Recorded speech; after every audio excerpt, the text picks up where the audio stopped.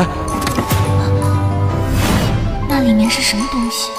秦若寒对我隐瞒了什么？小唐，今天我们出门，我在外面等你，你收拾好就出来找我。嗯。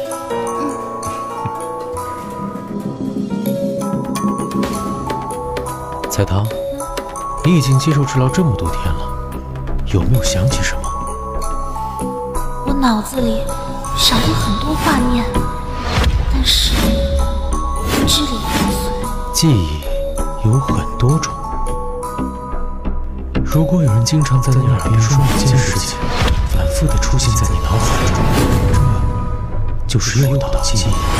是啊，如果秦若寒真的那么爱我，那为什么这三年里没有找过我？你要学会分辨什么是真，你要相信自己的内心。